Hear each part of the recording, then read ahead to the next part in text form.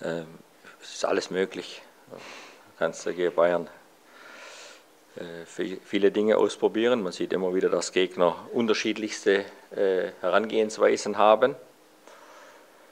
Fakt ist, egal welche taktische Variante du wählst, es muss an dem Tag alles passen und du musst einen perfekten Tag erwischen.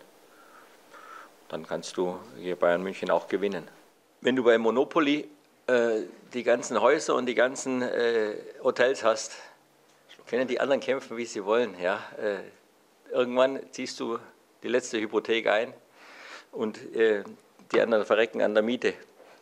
Ja, und von daher äh, ist es halt so, Bayern hat sich eine super Position erarbeitet. Die haben sie nicht geschenkt bekommen. Ja, das ist eine, eine, Wahnsinnsposition, die sie haben und sie machen halt gerade auch wenig Fehler. Klar machen die Transfers, die 30 und, und, und mehr Millionen dann äh, auch beinhalten, aber du kannst ja auch davon ausgehen, dann, dass so ein Spieler dann nicht den Ball zweimal nacheinander über die Seitenlinie rausstoppt, ja, sondern das sind dann schon auch richtig gute Spieler und äh, diese Mannschaft passt gut zueinander, die sie da haben, von den, von den Positionsbesetzungen her.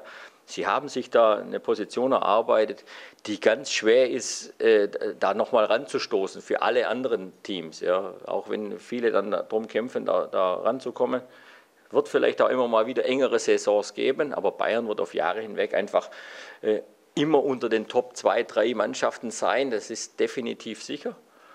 Und mit diesen Teams sich dann zu messen, zu messen oder, oder, messen zu dürfen, ist ja auch immer wieder eine tolle Herausforderung. Ja, dass du siehst, wenn du gegen die besten Mannschaften, wenn du gegen die Besten der Besten spielst, ist eine tolle Sache, auch für uns. Ja, aber wir werden sicher nicht da in, in, in Ehrfurcht äh, erstarren, sondern in solchen Spielen musst du deine Chance suchen, ne? sonst ziehen sie dir, äh, ja, machen sie dich kaputt.